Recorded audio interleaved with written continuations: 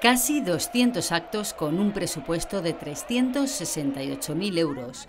Esas son las dos cifras más relevantes ofrecidas en la presentación del programa de ferias y fiestas de Guadalajara. El vicealcalde Jaime Carnicero ha destacado la reducción de 50.000 euros respecto al presupuesto de 2016 y de 125.000 euros respecto a 2015.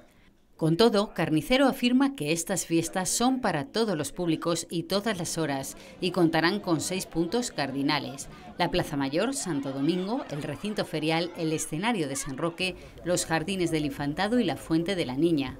Precisamente las obras de este punto han supuesto la reubicación de las peñas de esta zona. Se han reubicado las peñas, de hecho las peñas que estaban allí, las tres peñas que estaban allí, suben al, recinto ferial, que si no me acuerdo mal, eran el Güey, Bizcocho Borracho y La Casetes, ¿verdad?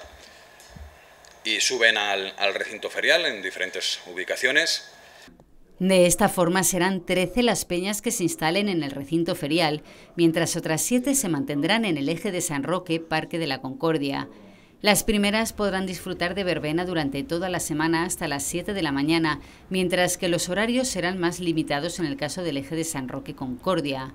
Uno de los actos destacados por el vicealcalde será el homenaje a Iván Fandiño. El día 13 de septiembre, a las 8 de la tarde, en la puerta grande de la Plaza de Toros de Guadalajara, se le va a brindar un sentido, un cálido homenaje a Iván Fandiño.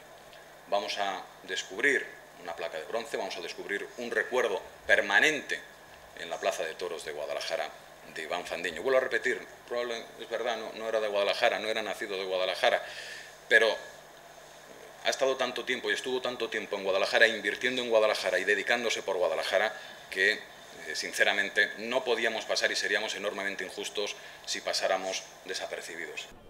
Carnicero también celebró el incremento de las actividades con carácter solidario y la variedad de oferta que presenta el programa festivo. En cuanto a las medidas de seguridad, el vicealcalde reafirmó que se mantendrá la dinámica de los últimos años. Se ha convocado la Junta Local de Seguridad para el próximo 5 eh, de septiembre, para dentro de, dos semanas, en donde se determinarán todas y cada una de las acciones que se deben desarrollar y que no solo se han hecho en estas ferias y fiestas, sino que se vienen haciendo en las últimas ferias y fiestas, sobre todo fundamentalmente desde que estamos en el nivel 4. El lunes se celebrará el primer acto del programa con el arranque del Open de Tenis Ciudad de Guadalajara, aunque el pistoletazo de salida oficioso tendrá lugar el martes 29 con el traslado de la Virgen de la Antigua.